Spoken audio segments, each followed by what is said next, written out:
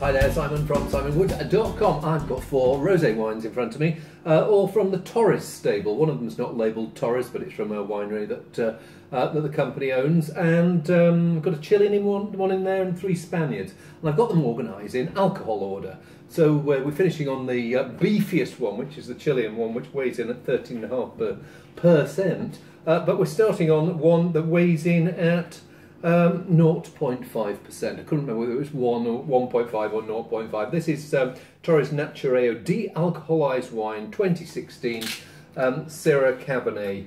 Uh, now I've had, uh, I, can't, I think I've tried the rosé before. I've certainly tried the, um, there's a red, there's a muscat. The muscat's probably my, been my favourite of the ones I've tried so far. So let's see what this one's like and it's a decent enough drink, but it's the, it has the problem I uh, I find with uh, a lot of uh, low alcohol wines. I was in Germany last week and trying uh, a wine from uh, the Leitz estate uh, called uh, Eins Zwei. They do one called Eins Zwei Dry, but they also do this low alcohol one called Eins Zwei Zero.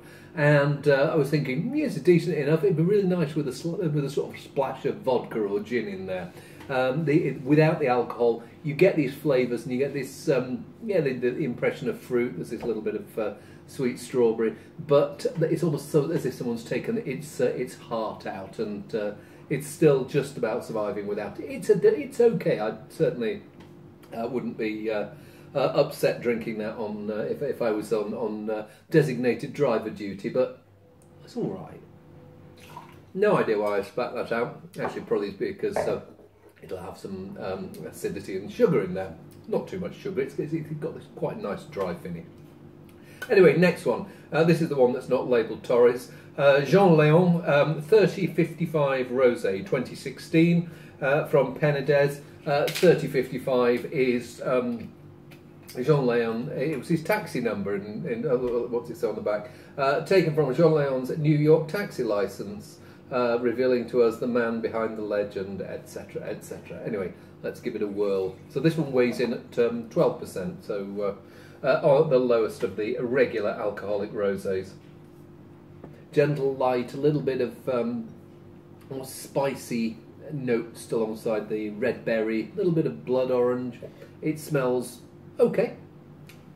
One of those slightly dangerous wines. You you think you taste it first of all, and you think not much wine there then it grows in the mouth. So there is this. In, it's, it's, it's one of those that's got uh, as, that's as much about texture as flavour. So it's got those little bit of red berry, that little bit of uh, uh, light citrus. Uh, but what you, you, you feel you, you, your mouth feels like it's a it's had something in there that's uh, higher than twelve percent alcohol. It's, it's, it's it's a wine that's got quite a bit of um, presence, not massively complex, but um, dangerously gluggable. Yeah, quite like that. Next one, um, a Old Fave Viña Sol. Um, don't know how long they've been doing a rosé, but um, anyway, this is the the Viña Sol 2016. I think this one weighs in at 13% alcohol, so let's give it a whirl. Well, I don't know if you can see the difference in colour, probably against that background. Deeper in colour, and uh, when I smell it, it smells like it's going to have a deeper, richer, rounder berry flavour. Yeah, definitely red wine rosé. It's got that uh, strawberry juice character. Um, less of the citrus flavours. Maybe there's a slightly sweeter finish, and I don't know whether it's, there's actually a bit of sugar in there or whether it's just this fruit ripeness. Um, there are some occasions when I prefer that. That's almost like winter rosé, and the uh, uh, Jean Leon is more uh, more summer rosé. This is the the the Viña Sol has got quite a bit of um, cojones to it.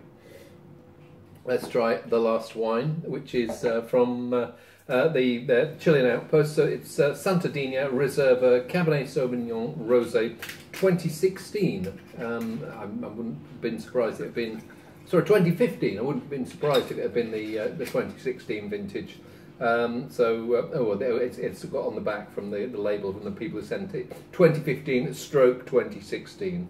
I've got the older vintage and this is going a little bit more medicinal, uh, sweeter, juicier, riper again than the um, uh, than, than the two Spanish ones.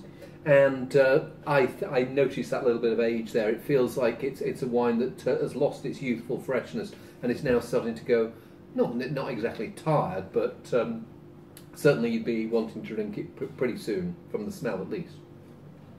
Yeah, tasty enough, but um, I I roll on the 2016. That has just that feel of that uh, claggy, rather heavy strawberry strawberry juice, So getting into the tinned strawberry juice character. Um, so um, of the, I mean, I, I, the Natureo is okay. That one's okay. These two in the middle, uh, I like them, and I like the difference between them. Uh, so um, stuff, spot of choice for which of those two to drink tonight. Maybe I'll have a little glass of each. See you soon.